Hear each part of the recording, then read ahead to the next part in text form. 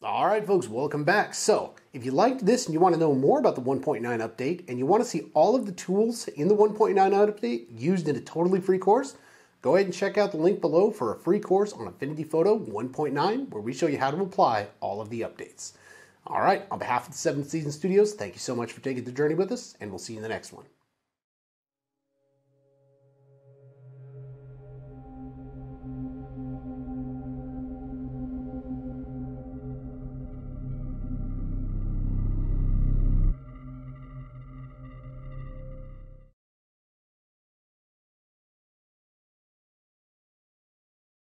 All right, folks, welcome back to version 1.9. Now, this is an upgrade to Affinity Photo only. This has been around forever in Affinity Designer. So if you're a designer user, you've seen this show.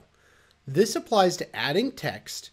And before, earlier, we've been taking just the text tool here and calling it rows, all right?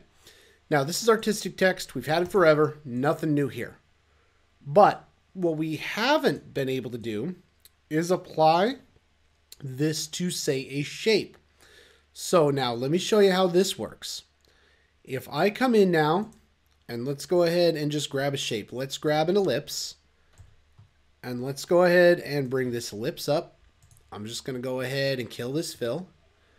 So what I have here is a shape layer. Okay. Now I'm going to grab my move tool and I'm going to move it up here above the rows. And I'm going to delete that. And it looks like I have a little bit of outline there. We're going to go ahead and get rid of that too. All right, so now we just have our transparent shape. So when we do this part, we're going to come down now to the artistic text tool. And now you see it's a crosshair with the little capital A. Now watch this. If I approach the blue line, notice now it has changed to a swervy line with text. Now notice where the crosshair is. It is on the outside of the circle. So if I click here now, I'm now able to push text outside of the circle.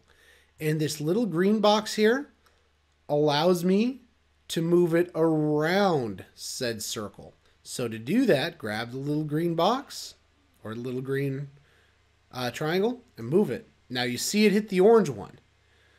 When it hits the orange, it will try to wrap the text. So this is not the easiest. I'll tell you, as an Illustrator user, this was one of the things that I do not like about the way it does path on text, but it is now available. Now, if I go ahead and delete that, okay, let's go ahead and zip over. Let's go ahead and bring it to nothing.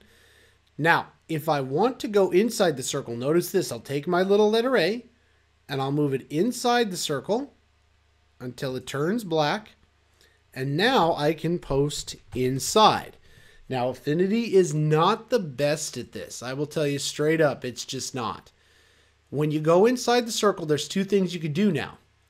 In order to adjust it, because this is a common thing people see, make sure your character panel is out. Okay?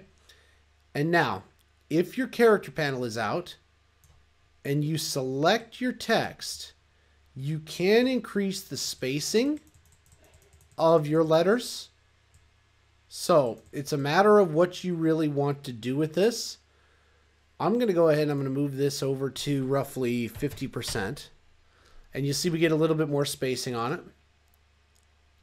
So this takes a little bit of adjustment. It is not perfect, but it does give you some form of text on path. Now, the way that I choose to do this, you see how it's the low, slow boat here to get letter in between there, space? Watch this. If I start on the inside and I want to increase the space, one of the things I will do is I will increase the baseline. Okay? So if you wanted to increase the baseline, that's a nice way to get some of that and to make sure that your text is adequately spaced. All right, folks, very simple text on path. This is something we've had forever in Affinity Designer. It's now made its way to Affinity Photo. All right, see you in the next one.